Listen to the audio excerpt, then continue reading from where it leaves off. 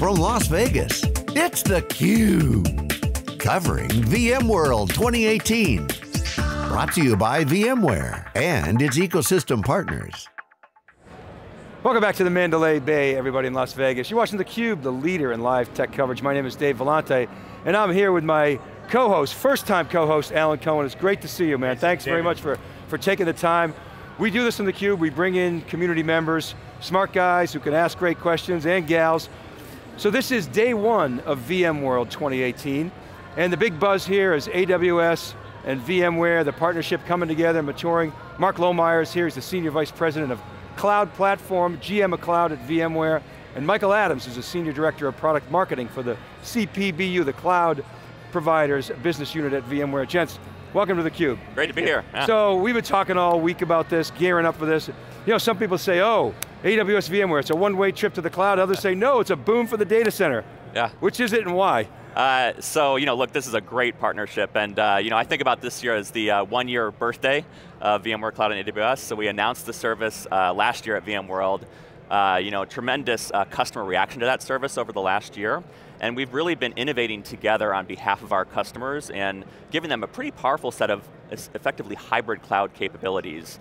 Uh, we've done five releases over the last year, um, which is pretty amazing if you think about the um, bringing the full software-defined data center stack into the AWS cloud, and, um, and you're sort of pleased at the customer response and reaction to that.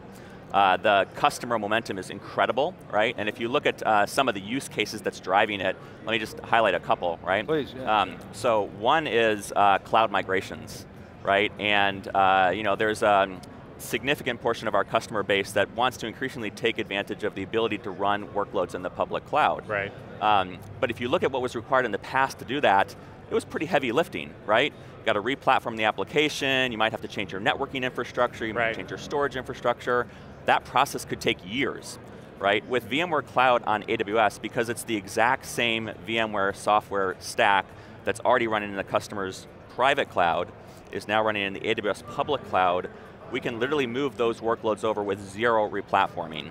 So uh, we have customers that have moved thousands of workloads in a few weeks, as opposed to previously it might have taken them uh, months, if not years. Yeah. So VMware's, you know, early on, your, your public cloud strategy is kind of a head scratcher. Customers are a little reticent, and yeah. you've cleared that up, like you said, clear, you know, momentum now. Mm -hmm. um, but so, and you announced a year ago, yeah. you had to do a lot of work to, to actually see that homogeneous vision through. Yep. What, yep. what kind of work were you guys doing on the product side? Yeah, so let me, uh, let me give you um, one more example. So you hit on the, the hybrid cloud point, right? So one thing that Pat and uh, Andy Jassy announced today, was really exciting, was uh, taking this partnership to the next level. Right, so the first stage of the partnership was all about enabling VMware capabilities on AWS. But as we were out talking to our customers together, uh, one piece of feedback we both got was, hey, we would love to be able to take advantage of some of these AWS capabilities in VM on top of VMware and vSphere on-prem, right? A real hybrid cloud experience right. now. Yep. And so uh, today we're pleased to announce that uh, uh, we'll be working together to bring the AWS RDS service running on top of vSphere on-prem. Uh, you know, if you think about the, the uh, time and complexity it cost, takes customers to manage their data, data workloads on-prem, we think this can have a meaningful impact in helping them simplify how they run that environment. And then from a strategic level, now you can sort of start to see the bigger picture, right, where uh, VMware is able to provide this consistent infrastructure, of course, in on-prem environments, extended into the public cloud on top of AWS, extending into the edge, which with Project Dimension, which maybe we'll talk about in a sec, and then on top of that, a rich set of application and developer right. services, and what we're doing with AWS around RDS is a, is a great example of that, where we're taking their industry-leading relational database service and bringing that back uh, on-prem. Yeah. Right, so now you're talking about a hybrid architecture across both the infrastructure and the application yeah. that we're it, delivering it, together. It, it, almost sounds like you're effectively building a Mobius strip between AWS and, yeah. and VMware, right? Which yeah. is, you know, we all thought a year ago that head scratcher. You know, one thing that was on my mind is, so you've been at this for a year, and you went into the partnership a year ago with a certain set of expectations. Yeah. If you could rewind the clock Yeah, yeah. and say, I wish I knew this Done a this year ago before. when we got this started because this would benefit the customers, what are some of those things that would Well, have that's, been? it's, it's a great question, right? And um, I think one thing that's been good about the partnership is, uh, you know, AWS is obviously uh, customer obsessed. They talk about it, but it Right. really, they really do take that to heart, right? And uh, and we do as well, right? So uh, as we've spent time with customers over the last year, we've learned a lot. And uh, if I had to, and you know, we're responding to that and delivering to that. Yeah. If I had to highlight one thing, I think uh, I would have loved to be able to deliver to customers even sooner. It's all around the hybrid networking piece of this, right? What we found is that when customers I could have told you that years ago, yeah. You might have, yeah, I might have mentioned it, yeah. sorry, I'm sorry, inside Uh, voice. sorry. Yeah, that's fine. But, um, but no, I mean, it's uh, the ability to be able to have workload portability across Right. the private cloud and public cloud, the ability to maintain your security policies as you do that, um, even um, things like being able to take advantage of technologies like AWS Direct Connect to provide a high performance, highly Yeah. reliable network connection. Yeah. You know, those are all things we delivered in our most recent release that we announced uh, today. Um, and the customer uh, excitement's been off the charts, but uh, you know, it would have been wonderful to be able to deliver Yeah. that a little bit sooner, but we're happy to do But- it today. Jump in. But there, even having said that, I mean, one of the things we're highlighting is the customer mom- momentum. We mentioned a couple on stage today. We mentioned MIT, we mentioned Stagecoach, um, and, and several others. And when you when you look at that, I mean, that it's just been so positive in terms of what they're trying to do, and and they react to the use cases. DR, extension, cloud migration, all of that becomes pretty important. The MIT example Pat gave this morning, they was talking about migrating, you know, hundreds of VMs uh, in you know a few months. I mean, that's just uh, absurd a couple of years ago, right? Just not possible. And so we want to continue to highlight that. In fact, tomorrow Sanjay Poonan's going to talk to Brinks. So we all know the Brinks trucks, they're always riding around. They had a great use case uh, around uh, DR. And so we'll see that uh, tomorrow in the, in the live session. But so one of the use cases is obviously shutting down data centers, moving a data center into, Yeah. the, into the cloud. How does that work from a data standpoint? How complex is it? How long does it take? I mean, you still have speed of light, network as great as it is, still network bandwidth issues. Right.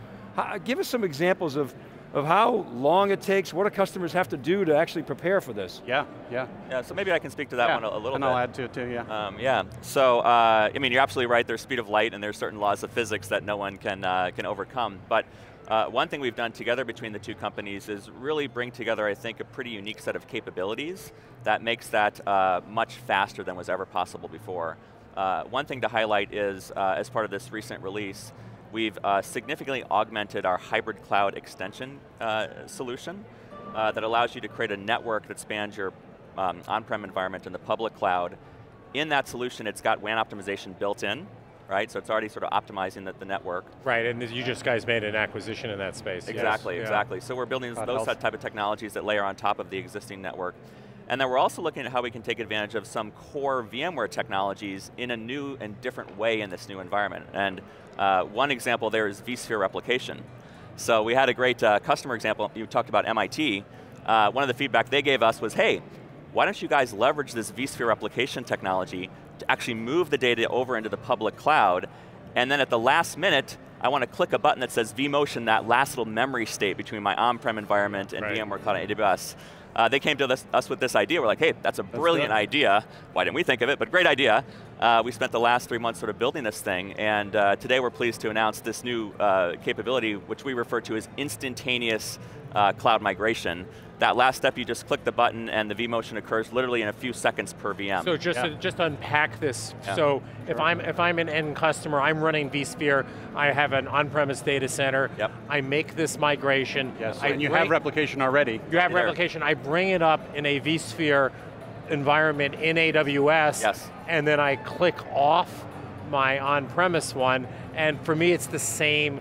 I'm looking at the same dashboard. I'm running using the same tools. Nothing's changed Same, for same, me. same exactly, look and feel. Got it. exactly. The you- same thing if I wanted to go back. That's and right. yeah, Yeah, absolutely. You can go in either. It's bi- bi-directional. Absolutely. Same price, round trip, Yep, one ticket, yep. one way and ticket. that's a big Yeah. question that comes up. Yeah. People want to know just could they go back? And they can. Yeah. But I mean, the push to the cloud's pretty significant. Just even as a risk management strategy. Yeah, I might not yeah. have a use case for it, but Yep, yep. can I? Can I? Yep. And then two other pieces to the how, just quickly. We added um, this ability to use our cost insight capability to go look at what the cost is going to be and the movement uh, to the cloud. And then another piece of that, we added to the service uh, log insight capability. So you get for free as part of the service now more detailed logging information and can correlate issues that may come up. you know, that, and, and that's been a, a big uh, piece with our customers. They want analytics on what's going on Right. in their environment. And you guys made an acquisition in this space, if I wasn't mistaken, in the last Right. uh, piece of time, right? Which I think just adds more capabilities around this. Yes. That's great. So you're, you're providing all the instrumentation in the cloud that people used to have in their data center. That's right, Exactly. that's right. Got to be the same experience or else Yeah. it doesn't work very well. All right, and you announced this hybrid cloud control plane, Project Dimension, Yes. you call it? Absolutely, Obviously yeah. a key ingredient. Explain what that is and what else is there. Yeah, so there's been a ton of um, excitement around Project Dimension as we've sort of rolled it out um, to everyone today. And uh, the one way you can think about this is we're taking everything we learned from VMware Cloud and AWS in terms of delivering a VMware Cloud managed service to our customers where we take responsibility for patching and upgrading the infrastructure on their behalf. And we're taking that same model and we're now extending it into the edge environment. So instead of running on a server in the AWS cloud, it's running on a server in a customer's edge environment, which could be manufacturing floor, it could be a hospital, it could be a retail branch, it could be an oil rig, uh, anywhere you might want to do some processing car out, self-driving car company, Absolutely. Yeah. anywhere you want to compute at the edge, we can, uh, we can provide that to them. Um, and if you think about um, these distributed environments, last thing you want to have to worry about if you're a customer is sending someone to site to patch you know, our software or patch the server underneath.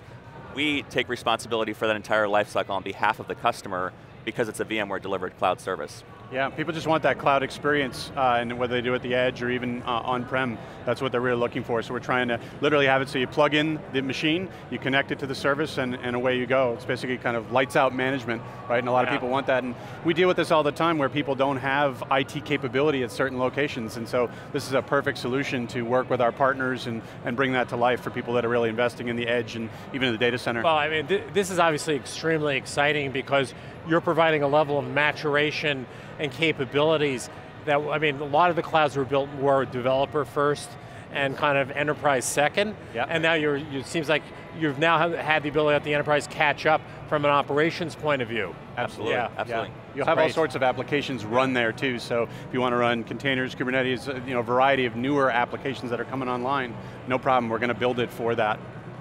What about the underlying architecture? So you mentioned that, you're sort of embracing Kubernetes, containers, Doc. I remember we asked Pat about it one year. He goes, hey, you know, we, we containers have been around forever. Yeah. We got a great container platform.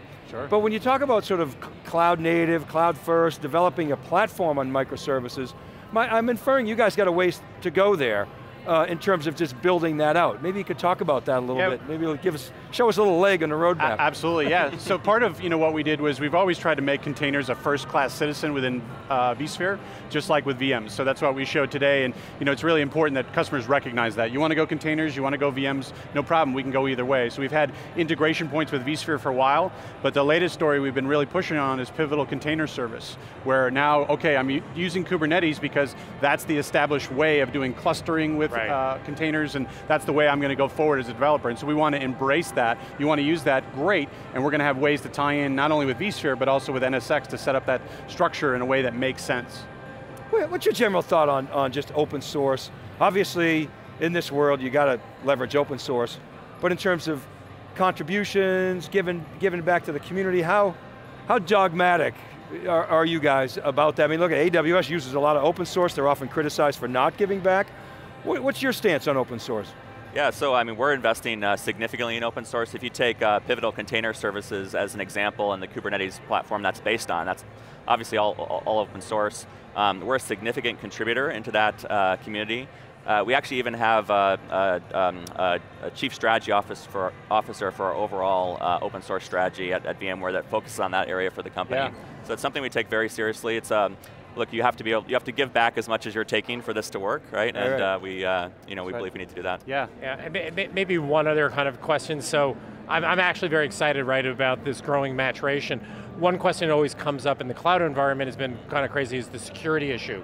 So how does that play in also? Because that's a core, that's been a core um, inhibitor for people making those migrations. Yeah, it's a great question. So, um, so one of the things that we announced uh, today is um, a significant expansion of our ability to bring a new level of security into the VMware platform uh, with something called App Defense, right? And uh, if you think about uh, what we're able to do with App Defense, uh, it's really providing security at an application level Right. at a in a fundamentally different way where we'll observe the application and what it's doing and we can use that to define what good behavior looks like. And so as long as it's continuing to exhibit good behavior, it's not talking to someone it shouldn't be talking to, or it's not spinning up additional processes it right. shouldn't be spinning up, everything's fine.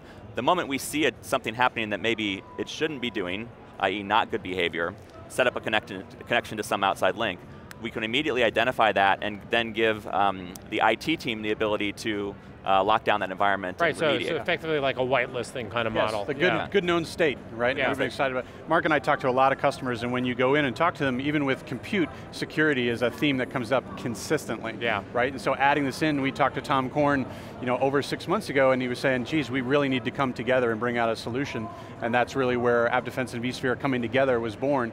And I think the key too, uh, not is just about you know, using two products together, but using them in an integrated way. So we actually have a plug-in inside of vCenter that will help you configure app defense. And so that, uh, they call it, I love that they call it security hygiene within the product. And it helps you set up that hygiene level to know the good known state right. and to take effective action. Well, I'll tell you a little aside, and Alan, you, you know, as a security person, you, will these might be fighting words, but so we were down, John, Stu, and I were down in uh, DC for the the public sector summit. Teresa Carlson and and and you guys, of course, announced AWS announced that the AWS VMware on GovCloud, right. you know, a little bit yep. behind where the commercial is, makes sense. But the CIO, of the CIA said, security in the cloud on a bad day on its worst day is better than my client server on its best day, which I thought was a pretty powerful yeah, statement. Now, yeah. yeah. maybe that says more about the CIA security than it does about the cloud. Well, it's a good thing. If you're the CIO of the CIA, you probably want to say that anyway, right? uh, I mean, you know, the, not that I'm worried about my phone, but uh, uh, you know, one thing, maybe you guys see this, is that because the focus on GovCloud um, had such a heightened security focus, it was, I think, you know, they started paranoid, right? Right. Uh, as opposed to became paranoid. And so I think a lot of the capability, so I think a lot of people who are writing the cloud first now uh, have a heightened focus on security because they don't take anything for granted. Right. Yeah, just one thing I'd, I'd, add into this discussion yeah. is I think um, the other thing we're seeing is customers don't want different security policies in these different environments. Right. Yeah. right? Last thing you want to have is one thing in your on-prem environment, something different in the cloud, something different in the edge, right? Yeah. You want that to be consistent across those worlds because that's the only way you can effectively manage it at scale. And so the uh, capabilities we were talking about before, even though we're introducing them first in the context of vSphere Platinum, which is obviously an on-prem product, uh, they're getting sedimented into vSphere as we deliver that everywhere, right? So VMware Cloud and AWS will enable this capability over time. Mm -hmm. As we bring uh, the full VMware environment into the edge with Project Dimension, we'll bring that same capability to the edge. And so then the customer has a single way to do this across ah, so all he's got like a TSA pre-program. yeah, exactly. yeah, workloads around. Exactly. Yeah, yeah, you're always, yeah. yeah, you're always covered. That's actually a huge point because I remember early in the early days of cloud, the practitioners say, look, it's not that the cloud security is bad, it's just different than my corporate edicts. Yeah. Right. Yes. I right. want same, same, exactly. you know, like, like. So. Yes. Yep. All right, guys, we got to jump. Thanks so much. Hey, Thank for you. Coming Thank to you. theCUBE. It's great, great to have you. here. All right, keep it right there, everybody. We'll be back with our next guest. We're live from VMworld 2018. You're watching theCUBE.